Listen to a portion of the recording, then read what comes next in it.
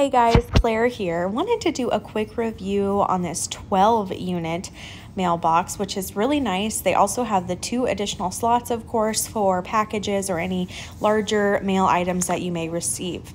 So this is really nice. The mailbox unit itself is very durable and sturdy. This has been through many storms. We have tornadoes, we have high wind storms, we have rainstorms and never affects the mail at all. It's really nice because all the mail is in one spot. People can go over to it, open their slot, and then you can see also the slots are quite deep and just can hold a lot of mail. You never know. Some days you might get a couple letters, and other days you might get more than that. So it's worked out really good.